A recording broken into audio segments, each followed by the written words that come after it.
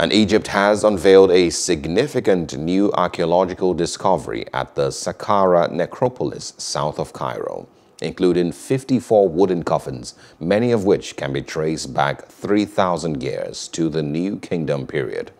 The funerary temple of uh, Queen Nate was also discovered near the pyramid of her husband, King Teti of Egypt's 6th dynasty, which dates back 4,200 years.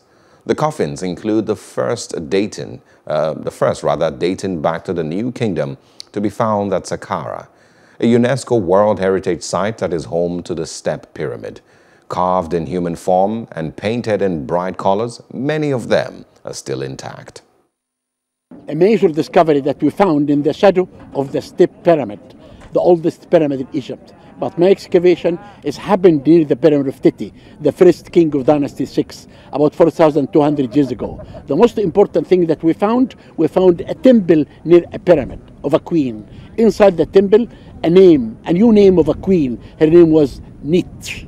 She was the wife of the king Teti. And this will add a small part about the history of the Old Kingdom. The major important discovery also we found 22 shafts.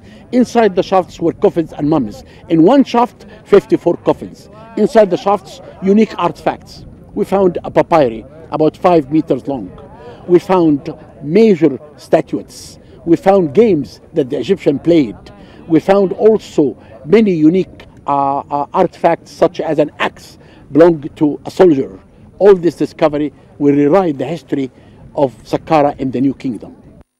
Hello, hope you enjoyed the news. Please do subscribe to our YouTube channel and don't forget to hit the notification button so you get notified about fresh news updates.